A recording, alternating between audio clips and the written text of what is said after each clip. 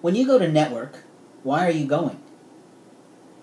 You do so to do something that feels like sales. Yet one thing is for sure you show who you are in those moments. You should be going for four reasons to buy something, to sell something, to refer someone, or to find profit partners where all the business professionals earn together.